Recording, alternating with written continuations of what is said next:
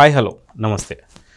So పితృదోషాల వల్ల చాలా కుటుంబాల్లో చాలా రకాల సమస్యలు అనేది ఏర్పడుతూ ఉంటాయి. అయితే ఇలాంటి సమస్యల్లోనే మనం ఇటీవల చూస్తున్నటువంటి ఒక ఒక అగ్ర కుటుంబమైనటువంటి నందమూరి ఫ్యామిలీలో కూడా చాలా రకాల అకాల మరణాలు జరిగాయి అన్నమాట అయితే వీటికి సంబంధించి ఎందుకు ఈ జరుగుతున్నాయి. ఎందుకంటే సీనియర్ ఎన్టీఆర్ వాళ్ళ తమ్ముడు గారు కావచ్చు హరికృష్ణ కావచ్చు జానకిరామ్ కావచ్చు మొన్ని మధ్య ఇలా చాలా వరకు ఇప్పుడు తారక రత్న కావచ్చు ఇలాంటి అంశాలు ఎందుకు వీటికి సంబంధించి పితృదోషాల వల్లే ఇలాంటి సమస్యలు ఏర్పడతాయా? ఒక పితృదోషం వల్ల పూర్తి కుటుంబానికి దాని వాటి తరతరాల వాటికి కూడా ఇలాంటి అంశాలు ఆ, వెంటబడుతూనే ఉంటాయా? వీటికి సంబంధించి పరిష్కారాలు ఏంటి అందరికీ ఒకే రకమైనటువంటి ఒక ఇలాంటి సమస్యలు ఏర్పడతాయా లేదా అనేది ఇప్పుడు మనం మనతో పాటు హేమసుందర్ గారు ఉన్నారు. వారిని అడిగి తెలుసుకుందాం. సార్ నమస్తే. సార్ పితృదోషాల వల్ల నిజంగానే ఒక తరతరాలు కూడా ఇలాంటి యొక్క అంశాలకి ఎదురు పడుతూనే ఉంటాయా సార్? లేదంటే ఒకరితోని క్లోజ్ అయిపోయే అవకాశం ఉంటాయా? అంటే మనం ఇక్కడ తారక రామారావు గారి కుటుంబం గురించి మనం మాట్లాడుకుంటున్నాం కాబట్టి ఫస్ట్ తారక రామారావు గారి జాతక చక్రంలో నేను చూసుకున్నాను. చూసుకున్నప్పుడు కూడా ఆయన చక్రంలో కూడా ఆ పితృదోషం అనేది కనిపిస్తుంది. అంటే ఎవరైతే వాళ్ళ వంశీకులు ఉన్నారో వాళ్ళందరి జాతకాల్లో కూడా పితృదోషానికి సంబంధించిన కారణాలు కనిపిస్తూ ఉంటాయండి. ఓకే. అంటే పితృదోషం వల్లే ఇలాంటివి జరగడానికి అవకాశాలు ఎక్కువ ఉంటాయి. అంటే ఇలాంటివి అంటే ఆకస్మిక మరణాలు యాక్సిడెంట్లు లేదా ఆత్మహత్యలు తర్వాత క్యాన్సర్ లాంటి మహమ్మారి పరిపోయి చనిపోవడం కానీ లేకపోతే ఒక వ్యక్తికి విడాకులు కాకపోవడం కానీ వివాహం కాకపోవడం కానీ వివాహం అయిన వ్యక్తికి వెంటనే విడాకులు జరగడం కానీ ఇలాంటివన్నీ రకరకాల కారణాలు కనిపిస్తూ ఉంటాయి. తారక రత్నకి గుండెపోటు కావచ్చు. గుండెపోటు కానీ ఇలాంటి ఆకస్మిక మాత్రం. అంటే మనకు ఆయుష్ పూర్తిగా అర్ధాయుష్తోనే మనం మరణాలు పాలవుతారు వీళ్ళు. ఈ దోషాలు ఉన్నవాళ్ళు. అందువల్లే వీటిని ఏంటంటే వీటిని ఈ దోషాల కారణం ఏంటంటే బ్రహ్మ శాపం అంటారు పితృదేవతల శాపం అంటారు. ఇట్లాంటివన్నీ ఉంటాయండి. వీటి వల్లే జరుగుతూ ఉంటుంది సాధారణంగా. ఓకే. మన జ్యోతిష పరిభాషలో చెప్పాలంటే దీనికి ఆ జాతక చక్రాల్లో చూస్తే కానీ మనం ఆ వ్యక్తికి పితృదోషం ఉందా లేదా అనేది మనం తెలుసుకోవచ్చు. ఓకే. అయితే మామూలుగా నందమూరి వంశం అనగానే అది నిజంగానే అందరికి తెలిసిన ఫ్యామిలీనే ఆస్తుల్లో కావచ్చు ఆర్థికంగా కావచ్చు ఎటువంటి సమస్యలు లేనటువంటి ఒక ఫ్యామిలీ అనుకోవచ్చు. ఇప్పుడు అదే మనం చిన్న తరహా కుటుంబాలలో కావచ్చు మధ్యతర కుటుంబాలలో ఆర్థిక ఇబ్బందుల వల్ల చాలామంది సూసైడ్ కావచ్చు లేదా ఇలాంటి ఏదైనా సమస్యల వల్ల ఇంకేదైనా జరగవచ్చు. సో ఇలాంటి పెద్ద పెద్ద కుటుంబాలలో కూడా ఇలాంటి సమస్యలు ఏర్పడతాయి. ఎందుకంటే చిన్న కుటుంబాలు ఏమనుకుంటారంటే మాకున్న సమస్యలతో మాకు ఈ ప్రాబ్లమ్స్ అనుకుంటారు కానీ అంత పెద్దటి స్థాయి వాళ్ళను కూడా ఇలాంటివి పితృదోషాలు వెంటబడుతుంటాయి సార్? వేధిస్తుంటాయి అంటారా? కంపల్సరీగా అంటే పితృదోషమనే కాదు రకరకాల దోషాలు ఉంటాయి. అది ఎంతటి వాళ్ళకైనా తప్పదండి. బిలీనీరైనా కోడీశ్వరుడైనా లేకపోతే పెద్ద అనేక సంస్థలకు అధిపతి అయినా కానీ ఈ దోషాలకి బారిన పడక తప్పదు అది ఎంత చెట్టుకి అంత గాలి ఉంటూ ఉంటుంది. కొన్ని తీవ్రంగా ఉంటాయి కొన్ని స్వ- స్వల్పంగా పోతాయి. ఇట్లా రకరకాలుగా ఉంటుంది. సాధారణంగా పితృదోషం ఎలా చూస్తారంటే జ్యోతిష్ చక్రం శాస్త్రంలో చక్రం వేసుకున్నప్పుడు మనకి పితృకారకుడు అనే గ్రహాలకు ఒక కారకత్వాలు ఉంటాయి. పితృకారకుడు అన్నప్పుడు రవిని చూస్తాం. దాన్ని ఆత్మకారకుడు అనే గ్రహం కూడా అంటాం. ఆ రవికి సొంత ఇల్లు ఏంటి సింహరాశి అంటే పితృకారక గ్రహానికి సంబంధించిన రాశిలో పాపగ్రహాలు. పాపగ్రహాలు అంటే శని కానీ కుజుడు కానీ రాహుకేతువులు కానీ ఇలాంటి గ్రహాలు ఉన్నప్పుడు మాత్రం ఆ భావం చెడిపోద్ది. అంటే ఆ సింహ సింహరాశిలో ఇలాంటి పాపగ్రహాలు ఉన్నా కానీ అది పితృదోషం కింద మనం భావించాల్సి ఉంటుంది. అలాగే రవికి కూడా ఇలాంటి పాపగ్రహాలతో సంబంధం ఉన్నప్పుడు రవిని కూడా మనం పా పాపిగానే వేస్తాం.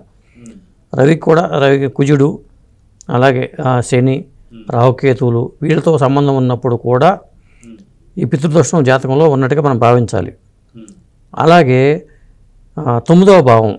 మన లగ్నం నుంచి తొమ్మిదవ స్థానాన్ని పితృస్థానంగా చెప్తాం. ఆ పితృస్థానంలో కూడా ఇలాంటి పాపగ్రహాలు ఇదే కాంబినేషన్ ఉన్నా కానీ మనం దాన్ని పితృదోషం ఉందని ఆ జాతకుడికి మనం భావించాల్సి ఉంటుంది. ఇట్లా చెప్పాలండి. ఓకే. సో మొత్తానికి వీటికి సంబంధించి ఇది ఇప్పటి నుంచి కాదు. తారక రామారావు గారికి సంబంధించి వాళ్ళ తమ్ముడి నుంచి కూడా ఇప్పుడు తారక రత్న దాకా కూడా ఇలాంటి సమస్యలు మనం చూస్తూనే ఉన్నాం. సో ఇది రామారావు గారి నుంచి వాళ్ళ పిల్లలకి వాళ్ళ పిల్లల తర్వాత వీళ్ళకి కూడా ఆ యొక్క పితృదోషం అనేది ఇంకా కొనసాగుతుంది అనుకోవచ్చు? అది రామారావు గారి నుంచి కాదండి. తాత ముత్తాతలు. ఎవరైతే పితృదేవతలు ఉన్నారో నుంచి కూడా. మన డిఎన్ఏ మన జీన్స్ అంటాం కదా మన డిఎన్ఏలు అంటాం. అలాగే దానికి సంబంధించిన అవన్నీ ఆ మూలాలన్నీ అక్కడి నుంచి వస్తాయి. మనకి వ్యాధులు ఎలా వస్తున్నాయి? మన పెద్దల నుంచి మనకు వచ్చే వ్యాధులన్నీ ఉంటున్నాయి. అలాగే తాత ముత్తాతలు వాళ్ళ తాత ముత్తాతలు వాళ్ళ దగ్గర నుంచి కూడా ఆ దోష నివృత్తి చేసుకోకపోవడం వల్ల వీళ్ళు కూడా అదే బాట పడుతూ ఉంటారు. మళ్ళీ వీళ్ళు కొత్త పాపకర్మలు చేస్తూ ఉంటారు. తల్లిదండ్రులను సరిగ్గా చూడకపోవడం ఇలాంటివన్నీ జరుగుతూ ఉంటాయి. వాళ్ళ తల్లిదండ్రులు వాళ్ళు చూడకపోవడం ఏదో పాపం వాళ్ళ చేసిన పాపాలకి వీళ్ళు అనుభవించాల్సిన పరిస్థితి ఉంటుంది. ఇది జ్యోతిషపరంగా నేను చెప్పేది కానీ నా వ్యక్తిగత అభిప్రాయం కాదు. జ్యోతిష్ శాస్త్రాల్లో రాసి ఉన్న అంశాలే వీటిని మనం చెప్తున్నాం. ఓకే. అయితే మామూలుగా ఇలాంటి పితృదోషాలకి పరిహారాలు ఉంటాయా? ఉంటే ఏం చేయొచ్చు? పరిహారాలు ఉంటాయండి. పితృదోషాలకి మన పిండ ప్రదానాలు చేయాలి. ముందు పిండ క్రతువులు చేస్తాం అవి చేయాలి. అలాగే తర్పణాలు చేయాలి. అవన్నీ చేస్తూ ఉండాలి. తర్వాత ఎవరికైతే దోషాలు ఉన్నాయో అసలు ఆ దోషం ఏ స్థాయిలో ఉంది అనేది మనం చూసుకోవాలి. ఇప్పుడు దోషం పితృదోషం ఉన్నంత మాత్రం అందరికీ ఒకే రకమైన ఫలితాలు ఉండవు. వేరువేరుగా ఫలితాలు ఉంటూ ఉంటాయి. అంటే వాళ్ళు చేసిన పూర్వకర్మ పుణ్యాలను బట్టి కూడా వ్యక్తులకు ఉంటాయి. కానీ ఎవరైనా సరే వాళ్ళకి టెంపరీగా బయటపడినా కానీ వాళ్ళ పిల్లలైనా అనుభవించక తప్పదు. ఇలాంటి పితృదోషాలు ఉన్నప్పుడు ఆ వ్యక్తికి టెంపరీగా రిలీఫ్ కావచ్చు. నాకేమీ లేదని అనుకోవచ్చు. కానీ వాళ్ళ పిల్లలు వాళ్ళ పిల్లల పిల్లలు కూడా ఈ దోషాలను అనుభవించక తప్పదు. పరిహారాలు ఒకరు చేసుకుంటే కొంత పరిహారాలు చేసుకుంటూ ఉండడం కానీ పరిహారాలు చేసుకోవడానికి ఏమేమి పరిహారాలు చేయాలని మనం చూద్దాం కొన్ని. అలాగే గయ్యలో చేస్తూ ఉంటారు. నారాయణ నాగ బలి పూజ అని చెప్తూ ఉంటారు. అలాగే నాసిక త్రయంబకంలో నాగ ఈ పూజ చేస్తుంటారు. అలాగే బ్రహ్మ కపాలని బద్రీనాథ్లో ఉంటుంది. బ్రహ్మ కపాలలో కూడా చేస్తుంటారు అంటే తర్పణాలు ఈ దానాలు ఇవన్నీ చేసుకోవాలండి. అట్లా చేసుకున్నప్పుడు మాత్రమే వీటికి అలాగే శివలింగ ప్రతిష్ఠ చేయటం కానీ అలాగే అఖండ శివార్చన చేయటం కానీ ఇలాంటి పరిహార మార్గాలు చాలా ఉంటాయి. అవి చేసుకుంటే మనం పూర్తిగా దోషాలను పోగొట్టుకుంటూ ఉండాలి. లేకపోతే ఏమవుతుందంటే తరతరాలుగా ఇది మనకి వేధిస్తూనే ఉంటుంది. ఇప్పుడు ఉదాహరణకి మనకి బయటికి రాని విషయాల వ్యక్తులు చాలా అంశాలు ఉంటాయి. ఇప్పుడు మనకి ఎన్టీ రామారావు గారి సోదరుడు కూడా అలా చనిపోయారన్నారు. అలాగే తారక మన త్రివిక్రమ గారి కుమారుడు కూడా అలాగే మరణం పాలయ్యారని చెప్పారు. అలాగే జయకృష్ణ గారికి పెద్ద కుమారుడు జయకృష్ణ గారు వాళ్ళ అమ్మాయి కూడా ఒక అమ్మాయి చనిపోయింది ఇట్లాగే. ఇట్లాంటివి చాలా ఉంటాయి. బలవన్ మరణాలన్నీ ఉంటాయి. పితృదోషాలకి. ఆ కుటుంబంలో ఎక్కువ ఇట్లా ఉన్నాయి అంటేనే వాళ్ళ ఫ్యామిలీలో ఇలాంటి దోషాలు చాలా ఉన్నాయి. ఆ పెద్దలు తరతరాలుగా వస్తున్నాయి అని మనం ఖచ్చితంగా భావించాలి. దానికి సంబంధించిన నివారణ మార్గాలు ఆలోచించుకోవాలి. మరి అలాంటప్పుడు బాలకృష్ణ గారు కూడా మరి ఎట్లాంటి దోషాలు ఉంటాయి కదా అంటే ఖచ్చితంగా ఉంటాయి. అయితే మనం కొన్ని కర్మలు రాకుండా మనం ఏం చేయాలంటే కొన్ని మంచి కార్యక్రమాలు చేపట్టాలి. అంటే ఉచితంగా వైద్య వైద్యం సరి కల్పించడం సదుపాయాలు కల్పించడం అలాగే అనాథాశ్రమాలు కట్టించి సేవ చేయడం వృద్ధాశ్రమాలు కట్టించి సేవ చేయడం వల్ల కూడా చేయొచ్చు. ఇప్పుడు క్యాన్సర్ బారిన పడిన వాళ్ళు కూడా పితృదోషాలతో చనిపోవడం కింద మనం భావించాల్సి ఉంటుంది. ఇప్పుడు మన బాలకృష్ణ గారు ఆసుపత్రి ద్వారా వైద్యం చేస్తున్నారు కదా. బసవతారకం క్యాన్సర్ హాస్పిటల్ ద్వారా ట్రస్ట్ ద్వారా కొన్ని సేవలు అందిస్తున్నారు. ఇలాంటివి ఉంటాయి. కానీ పూర్తి స్థాయిలో వీటిని నివారణ చేసుకోవాలి. ఇప్పుడు పెండ ప్రధానాలు వాళ్ళు ఈ సంవత్సరం వచ్చిందనుకోండి ఏ తిథిలో చనిపోయారు. ఏ రోజు చనిపోయి ఏ నెల చనిపోయారు. ఏ తెలుగు మాసంలో చనిపోయారు ఏ తిథిలో చనిపోయారు చూసుకుని అప్పుడు పిండ ప్రధానాలు అక్కడ కూడా తర్పణాలు ఇచ్చుకోవాలి. ఇవన్నీ చేసుకుంటేనే మనకి రెగ్యులర్గా అవి శాంతిస్తాయండి పితృదేవతలు శాంతిస్తారు. అంటే ఒకేసారి చేసినప్పుడు అందరి దేవతలకి చేస్తారు పితృదేవతలందరికీ చేస్తారండి. తర్పణాలన్నీ అన్నీ ఒకేసారి జరిగిపోతూ ఉంటాయి. ఇట్లా రెగ్యులర్గా చేసుకుంటూ ఉండాలి ఎప్పుడైనా సరే. లేకపోతే ఏమవుతుందంటే దీని ఎఫెక్ట్ పడిపోతూ ఉంటుంది. ఓకే. అయితే ఈ మధ్యకాలంలో చూసుకుంటే ఇవన్నీ కూడా పూర్వం నుంచి వస్తున్నటువంటి యొక్క కృతులు కావచ్చు వీటికి ఆచారాలు కావచ్చు. రానున్న కాలంలో పూర్తిగా మొబైల్ నెట్వర్క్తోనే అంతా ఫోన్లోనే అంతా సరిపోతుంది టైం అంతా. సో ఇలాంటివన్నీ కూడా వదిలిపెట్టడం వల్లనే ఈ మధ్య కాలంలో చాలా చిన్న చిన్న పిల్లలు పదో తరగతి పిల్లలు ఏడో తరగతి పిల్లలు కూడా ఆత్మహత్యలు చేసుకునేటువంటి జరుగుతున్నాయంటే ఇలాంటివన్నీ మర్చిపోవడం వల్లే అనుకోవచ్చు అంటారా ఇలాంటి ప్రతిదోషాల కారణం అనుకోవచ్చు అంటారా కొంత అన్నిటిని మనం ఒక ఘాటుని కట్టలేము. అది వ్యక్తుల్లో వేరు వేరు స్థాయిలను బట్టి ఉంటుందండి. పిడికి బియ్యానికి ఒకటే మంత్రం అని మనం చెప్పలేము. అది వాళ్ళ వ్యక్తుల జీవిత జాతక చక్రాన్ని మనం చూసి కానీ వీళ్ళకి జాతకంలో పితృదోషం ఉందా లేదా ఉంటే ఏం చేయాలి? ఎలా చేయాలి? ఎప్పుడు చేయాలి? ఇవన్నీ ఉంటాయండి. అవి జాతక చక్రాలను బట్టి చెప్పాల్సింది తప్పితే మనం అందరిని ఒకే కట్ట కట్టలేము. ఏదైనా సరే ఈ కలియుగంలో ఏంటంటే ఎక్కువ మంది నిర్లక్ష్యం చేస్తున్నారు.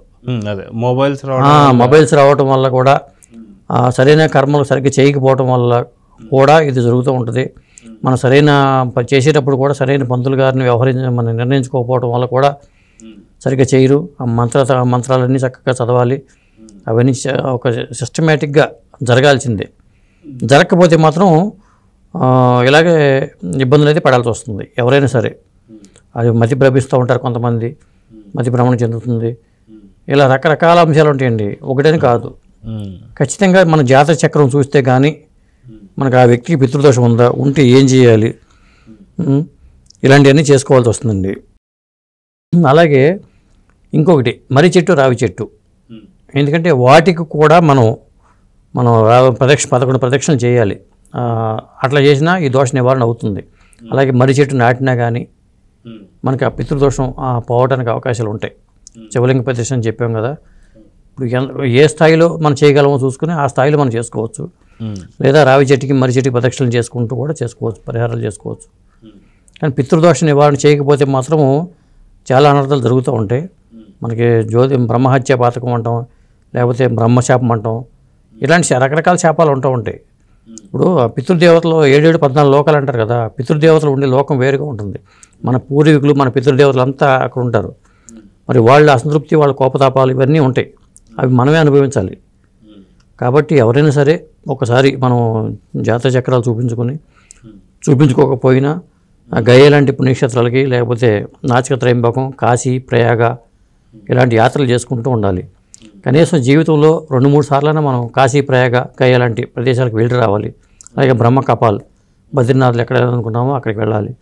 అక్కడ వెళ్ళి ఇవన్నీ చేసుకుంటే మనకి దోషాలన్నీ నివృత్తి అవుతాయి సో మొత్తానికి ఇప్పుడు అకాల మరణం చెందినటువంటి తారక రత్న కావచ్చు. వీళ్ళందరికీ ఒకవేళ కొంత పరిహారాలు చేసుకుంటే కొంత తగ్గొచ్చు అంటారా? ఖచ్చితంగా. ఖచ్చితంగా తగ్గుతాయి. పరిహారాలు చేసుకోవాలి సరైన ప్రదేశంలో చేసుకోవాలి సరైన విధంగా చేసుకోవాలి. అది ఏదో మొక్కుబడిగా చేయటం కాకుండా ఒక సిస్టమేటిక్గా చేయాలి. అలాగే తీవ్రంగా దోషం ఉందనుకోండి నారాయణ నాగబలి పూజ అని ఉంటుంది. కంపల్సరీగా చేసుకోవాలి. ఇవన్నీ చేసుకోవాలి. ఎందుకంటే ఎన్టీఆర్ గారి జాతకం చూసినప్పుడు కూడా ఆయన జాతకంలో తులాలగ్నంలో పంచమంలో కేతు ఉన్నాడు. అక్కడ కూడా మా అంటే సీనియర్ ఎన్టీఆర్ గారు. అక్కడ కూడా ఆయనకి దోషం కనిపిస్తుంది. పంచమ స్థానంలో సంతానపరంగా ఆ ఇబ్బందులు అవన్నీ అక్కడ కేతు ఉండటం వల్ల కూడా ఉన్నాయి. అవన్నీ ఎన్టీఆర్ గారి జాతకంలో కూడా ఉన్నాయి. ఇప్పుడు ఎన్టీఆర్ గారి జాతకంలో మనం చూసినప్పుడు ఇవి వీటికి సంబంధించి మనం చూస్తున్నాం. పితృదోషాలు కావచ్చు. వీటికి సంబంధించి ఇప్పుడు ఎవరు చేస్తే కృతులు కరెక్ట్గా సెట్ అయ్యిద్ది అంటారు అంటే అటు బాలకృష్ణ గారు చేస్తే బెటర్ అంటారా? జూనియర్ ఒకళ్ళని కాదు ఎవరికి వాళ్ళు చేసుకోవటమే. ఎవరికి వాళ్ళు చేసుకుంటూ ఉండాల్సిందే. ఆ వారసులు ఆ వంశీకులు ఎవరైతే ఉంటారో అందరూ చేసుకోవాల్సిందే. అంతే అందరూ చేసుకోవాల్సిందే. ఇప్పుడు వాళ్ళు చేస్తున్నారు కదా అని చెప్పి నేను నేను మానేస్తే కుదరదు. ఇప్పుడు మా ఇంట్లో నలుగురు అందములు ఉంటే నేను ఒక్కని చేస్తున్నా మిగతా వాళ్ళు చేయకపోతే కుదరదు. అందరూ చేసుకోవాల్సిందే. అట్లా. ఎందుకంటే వాళ్ళలో కూడా ఉంటాయి కదా. వంశ పారంపర్యంగా అందరిలోనూ ఉంటాయి ఇవన్నీ. ఎవరైతే చేయకపోతారో వాళ్ళు ఇబ్బందులు పడుతూ ఉంటారు. అలా ఉంటుంది. సో మొత్తానికైతే ఇలాంటి ఇబ్బందులు కలగకుండా ఉండాలంటే ఇలాంటి పరిహారాలు చేసుకుంటే మంచిదని చెప్పేసి అంటారు. సో ఇదండి. నిజంగా తారకరత్న గారిని కోల్పోవడం అనేది చాలా బాధాకరం అనే చెప్పుకోవాలి. అయితే ఇలాంటి సందర్భంలో పితృదోషాలు కలిగినప్పుడు వాటికి సంబంధించి పరిహారాలు మాత్రం చేసుకుంటే ఆ కుటుంబం నుంచి కొంత రిలీఫ్ని పొందొచ్చు అని చెప్పుకోవాలి. నమస్తే.